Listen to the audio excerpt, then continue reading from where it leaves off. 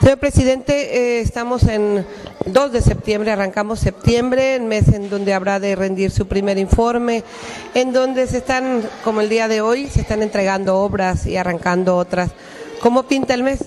Pues pinta muy, muy, con mucho trabajo, atareado, eh, pero muy contentos.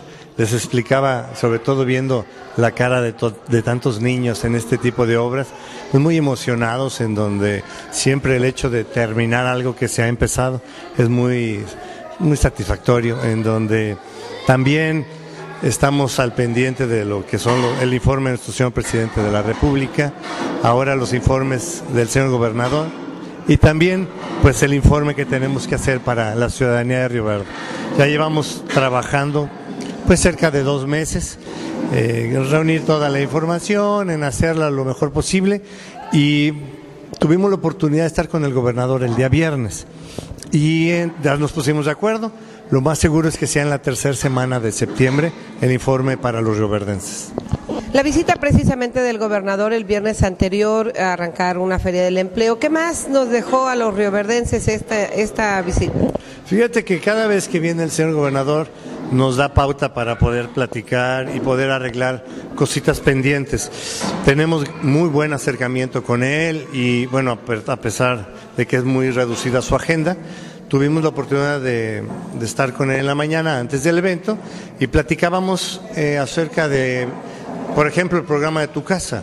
Él nos está apoyando también, el gobierno del estado le entró con recursos para llevar a cabo el programa que ya, ya se está llevando a cabo.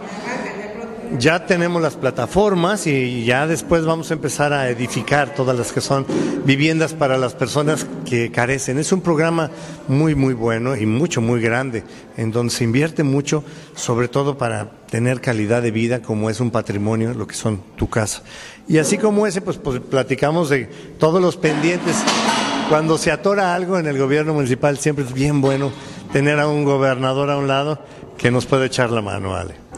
Eh, señor presidente, el mes de la patria, ¿qué, le dice esa palabra Alejandro García? Híjole, pues imagínate, ser mexicano, ser orgullosamente mexicano, tener todo lo que es, todo lo que nuestros héroes nos dieron dando su vida, tan sencillo como en esto, donde hubo personas, qué tan importante es que hubo personas que dieron su vida para que esto fuera, para que tuviéramos lo que ahora tenemos.